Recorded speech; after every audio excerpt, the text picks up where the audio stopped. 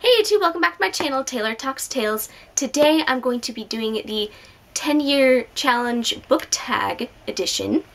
This was created by Rincey Reads over at Rincey Reads. I'll link the original video down below, but I thought this tag would be pretty fun. Um, it's a variation off of the 10 year challenge where you've got your 2009 photo and your 2019 photo, um, and I think this is going to be a lot of fun. So let's get started. Alright, first question. What was your favorite book in 2009? So there's a couple contenders for this. Um, I was still in high school back in 2009. I was, it was my junior going to my senior year. Um, and at the beginning of junior year, we had these, or uh, sorry, beginning of spring semester junior year, we had these book circles where one of my favorite teachers ever, Mr. Rosenzweig, who is a subscriber to this channel, so shout out to him for introducing me to this amazing book. And that is The Sparrow by Maria Doria Russell and its sequel, Children of God. Now, The Sparrow I think is a stronger book, but Children of God completes the story. It's so amazing, phenomenal, it makes you question everything. Um, it's science fiction, but also very literary, and it was just an amazing book. I fell in love with it. Um, I remember I had to rush out and go buy my own copy and then read this sequel or you know kind of companion novel. It was amazing. I loved this so much my junior and senior year of high school. So 2009, this was definitely my probably my favorite book.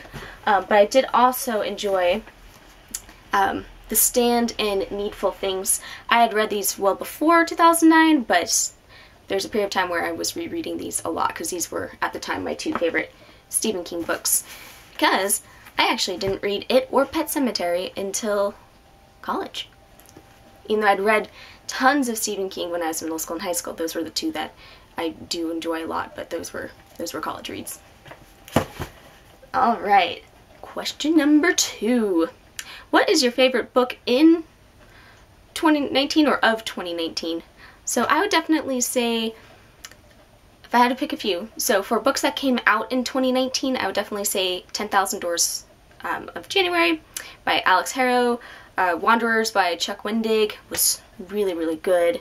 Um, I also did really enjoy Ninth House by Leigh Bardugo a lot. I know I kind of flip-flopped between giving it 4.5 out of 5 stars or 5 stars, um, but I the more I think about it, the more it is very, very good. It's not as good as 10,000 Doors of January for me, but it is still up there. Um, for So those were books that came out this year that I liked a lot off the top of my head, but I also enjoyed um, The Troop by Nick Cutter, uh, Hyperion by Dan Simmons was really good, um, and Gone South by Robert McCammon. Those books have been around for a while, but I, I read those this year and also thought they were very good. Three, what was your least favorite book in 2009? Ooh. So 2009 was the era of Twilight knockoffs. Um, I definitely read a couple. Um, I was not a fan of Twilight and not trying to get on the Twilight bandwagon hate. I just went into it thinking it was a horror novel and it wasn't. Like I read the entire thing and I'm like, once again it gets scary because it's got vampires, right? But it wasn't. Um, so just a lot of those like crappy knockoffs. Like I think Hush Hush came out and I read it and the cover made it me think, ooh, it's gonna be creepy, and it wasn't. So probably one of those Twilight knockoffs. Or there's also this book I had to read um, my senior year called Almanac of the Dead by Leslie Marmon Silko. And maybe as an adult, I would appreciate it more now, but when I read it back then, there was like some really disturbing imagery involving castration, and I, I just didn't get what was going on, and it was this big brick of a book, and I did not like it. I, I missed something, but but that was when I was 17, so I think maybe as a 27 year old I might, if I revisit it, maybe I'd appreciate it more, because it has good you know, ratings on on Goodreads. Oh, I also did, I didn't like Things Fall Apart. Um, I forgot what the, the author's name is, but I also didn't like that book because it just kind of depressed me. Alright, what was your least favorite book in 2019? So, a couple of my least favorite books just right now, if people ask me what books do you hate, Black Iris by Leah Raeder. I don't know why so many people love that book, but I loathe it. Anytime I see that book, I get so angry. Um, There's Someone Inside Your House by Stephanie Perkins. Um, also, that was just super disappointing. That was a one-star read for me. Um, I'm a big seasoned horror fan, and reading that book, I'm like, this does not do justice to the horror genre at all. so, so disappointing. I didn't read either of those in 2019. I read them last year or the year before that, but still, you know, I had to mention um, books that were just disappointing. Those are it. For books that came out this year, um, Last Ones Left Alive by Sarah Davis Goff. Um, it's a post-apocalyptic fiction with zombies, right? But it was the most boring apocalypse ever. I was not...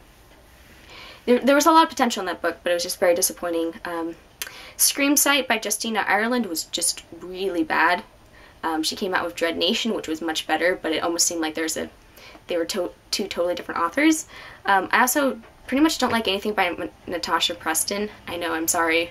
Um, she came out with like The Cellar and a bunch of like YA thrillers, but I just all of her books, I've read a couple now at this point, and they were just all super disappointing for me. Five, what is a book published in 2009 that you still want to read?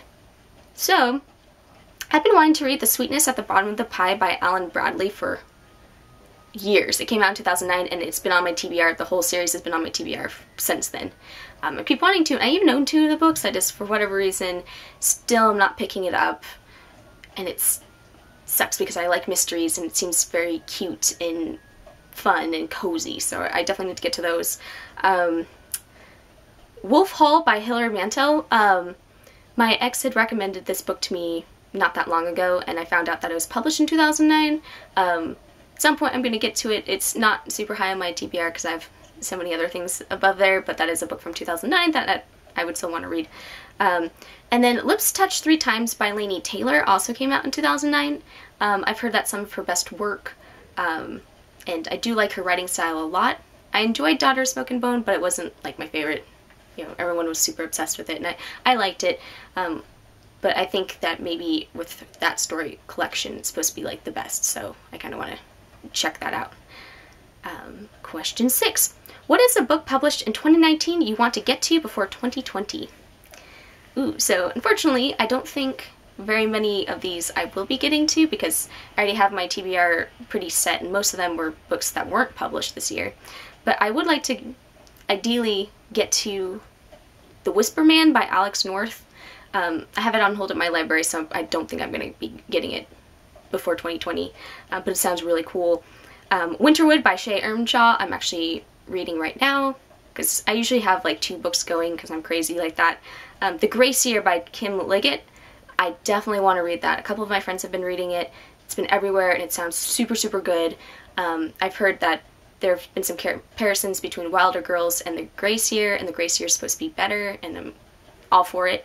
Um, the Institute by Stephen King, I've been really wanting to get to that. Um, unfortunately, the hold that I put on at the library came in when I was on my trip to Pittsburgh back in October, and it expired the day before we got back. And since then, I put the hold on it again, haven't gotten it. I might ask for it for Christmas or just wait until that hold comes in, um, which will probably be in 2020. Um, I also want to read The Turn of the Key by Ruth Ware. I've read a couple of Ruth Ware books and um, the first couple were sort of disappointing. One was pretty good, and then I've heard just nothing but great things about The Turn of the Key, so um, I'm looking forward to getting to that at some point because it seems like there have been a lot of really good thrillers coming out this year. Question 7. What is a genre you used to read a lot of that you don't read as much of anymore? I actually, for the most part, read the same genres. Um, I don't read very many paranormal romances anymore. Um, not that I did a lot, but when I was a teenager, I'd, I was more willing to pick some of them up, and I think it, they they were more prevalent and more popular back then, um, as opposed to I feel like they phased out a little bit. And so I don't read a whole lot, and I also don't read a lot of like YA dystopian. I'll still read post-apocalyptic or apocalyptic or disaster stories, but stuff, you know, I'll reread The Hunger Games because I really enjoy that series, but for the most part, any kind of Hunger Games knockoff. I used to be really into reading anything like The Hunger Games, and I don't gravitate towards that as much anymore. Let's see, question eight. What is a new genre you've discovered since 2009? Well, high fantasy, in a way. Um, I used to think that all high fantasy were just rip-offs of Lord of the Rings. I know, I know. But, um, but like, I'd read a couple that I didn't really enjoy, and it kind of tainted my view of high fantasy because I thought it was just a bunch of white dudes on horseback with swords and just wandering around and you know some magical creatures and, and, stuff. But like i thought that they all had kind of the same plot because there were several books. Like i did not enjoy Eragon or you know a couple books like that. Um, so i thought that it's all like that. But i've re you know been discovering that it's not the case at all. And there's actually a lot of really awesome high fantasy out there um, which has been really cool. So sort of getting into that.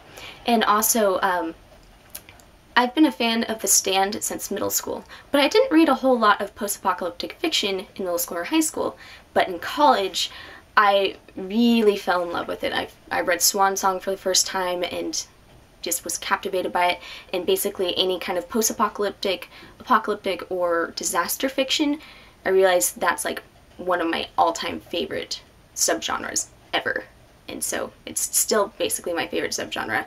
Um, and any books like that, I will definitely be picking up. So, so I discovered that since since 2009. Question nine: What is a reading or book habit you are hoping to leave behind in this decade? I want to stop putting books off that I've told people I'm going to read. Um, I think this has happened a few times where like a friend or like I know my ex did this or uh, you know family member or somebody super, super excited about a book series or a book and like, please, you know, read it. And I'll be like, yeah, I'm going to read it. I'm going to read it. And then I, it's like six months, a year, year and a half later that I get to it.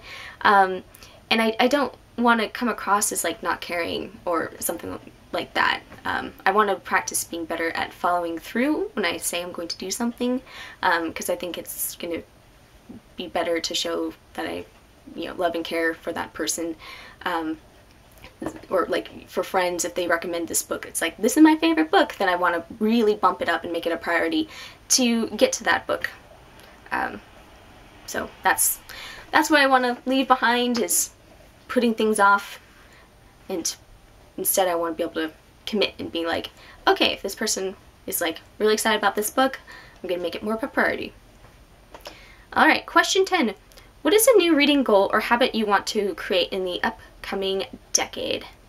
Alright, so I'm gonna bump up my Goodreads reading challenge. I've always made it 100, and for the most part I hit it. Um, but I'm gonna make it a minimum of 125 this coming year because I am phasing out social media in my life. Um, I'm gonna keep Goodreads, I'm gonna keep YouTube of course, and I'm gonna keep Facebook. Everything else though I'm deleting and just being done with. Um, and the only reason why I'm going to be keeping Facebook is because I'm connected to family and friends, and that's the only way to communicate with them. And I'm a part of a couple of um, Facebook like support groups that I can't just up and leave. So keeping that. But I feel like I waste so much time on a lot of different sites not really doing much. And if I cut that out, that would be, you know, multiple hours of reading time or writing time or reviewing time or putting into these videos or um, all kinds of stuff. So I'm, I'm doing that. So I'm going to be more focused on getting more books to read, um, being more active in the YouTube booktube community, um, and you know continue to work on my writing and really not wasting time. um, so that's pretty much it. Um, I'm looking forward to 2020 and all of the books that are coming out. There's quite a few awesome ones coming out and I still need to catch up on some from 2019. This year I think actually seemed to be a really good book year. There were a lot of books that I read that I really enjoyed.